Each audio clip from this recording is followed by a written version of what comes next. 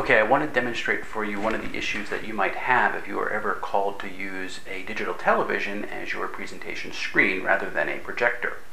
Now this is a full 1080p uh, television. That means it's 1920 pixels or rows across and 1080 pixels or rows from top till bottom. Uh, you can see my default Mac desktop image here is set up to take up the entirety of the screen uh, because I have my external monitor set to be a 1080p screen. Now watch what happens, however, when I open up Keynote and try to present a slide that's set for its default resolution, which is 1024 pixels across and 768 pixels from top to bottom. Looks kind of small and out of place. That's because in reality, if I went from the top to the bottom of the slide and it was set to the uh, top edge, it would only come to about here maybe just right around there. And so you have the bars on the top and the bottom and on the left and the right. This is going to make your audience feel really confused. They're going to wonder why on earth this slide is on this screen and it's not taking up so much of, of the real estate that's available to it. And it's going to become a distraction.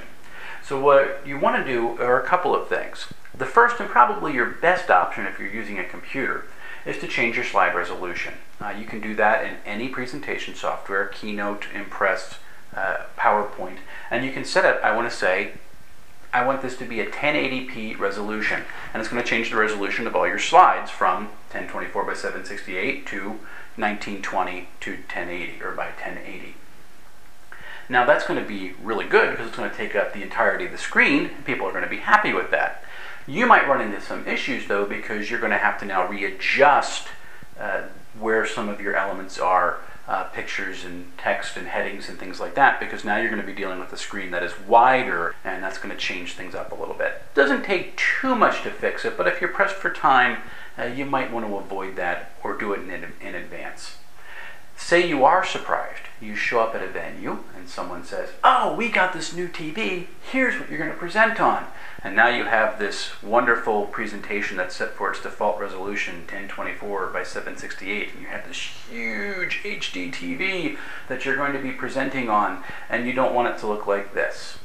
Well, the good news is, is that there are settings inside just about every TV out there that are going to allow you to kind of fool the audience into thinking that this slide belongs on the screen. And what it's called is zoom mode or view mode or picture mode depending on your manufacturer. They can't agree on the language for that. No matter if you, whatever option or language they use, however, when you get to it, you are going to look for something that's called zoom. And I'm going to show you what's going to happen to this slide uh, once you set it to zoom. Normal. Zoom normal. Now it looks as though this slide belongs on a screen that's this resolution. It goes from all the way to the top, all the way to the bottom. If you look really carefully, you can see a line, but no one's going to care about that. You do still have these bars on the left and the right, which are called pillar bars. There's nothing really you can do about that, but at least it's not going to be such a distraction to your, to your audience.